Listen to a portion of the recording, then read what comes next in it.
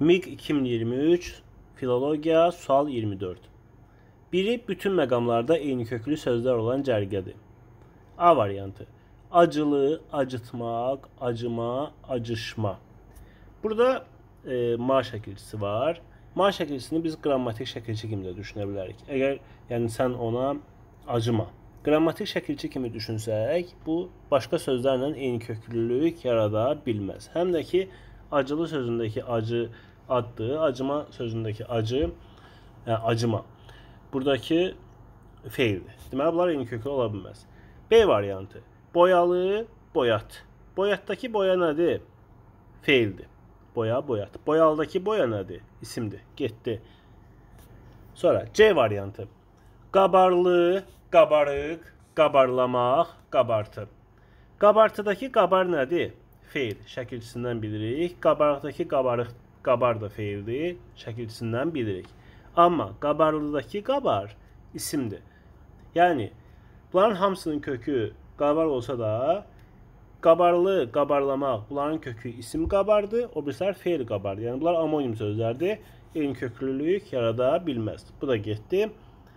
Dadımlıq sözünü görəndə də dedim 100% dadanmaq sözünü salacaqlar. Çünki o da çox e, qeyri-məhsuldar şəkilçi ilə düzələn bir e, feildir. Kökü bəzən çətinlik törədir, isimdir yoxsa feildir. Amma onu da şəkilçisində müəyyən etmək olur. Amma burada yox idi dadan, dadanmaq. Dadımlıq sözü var idi. Bu da ım. Rahat bir şəkilçidir. Geyim, deyim, duyum, belə sözlər də var.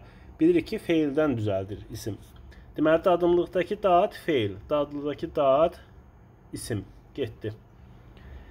Cavab E variantı idi. Çıxarlı, çıxıq, çıxıntı, çıxarış, çıxışlıq. Fikir verirsinizsə, hamısında leksik şəkilçi var. Yəni hətta çıxığı da siz deyə bilməzsiniz ki, qrammatik şəkilçidir. Biz çıxıq, belə bir şey yoxdur da. Hamısının kökü çıx sözüdür. Hamısında leksik şəkilçi var. Plus da çıx sözündə amonimliyi yoxdur. Yəni çıx feilinin e, deyə bilməzsiniz ki, bəlkə buradakı çıxla, buradakı çıx başqa-başqa sözlərdir. Amonimliyi yoxdur. Çox mənalılığı var.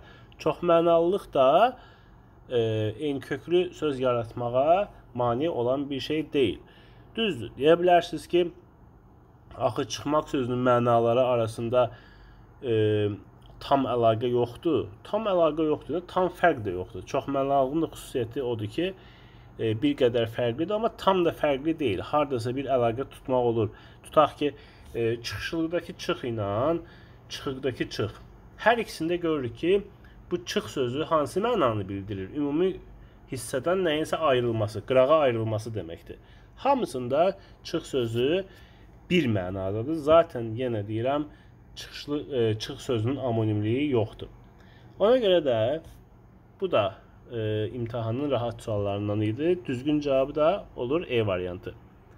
Bir dənə burada ən çox mənim özüm biraz qabarlı, qabarıqda e, biraz üstündən keçmişdim ki, bu düz olar. Sonra e, E variantını görəndən sonra dedim ki, hə, bu qabarlıda daha diqqətlə baxmaq lazımdır.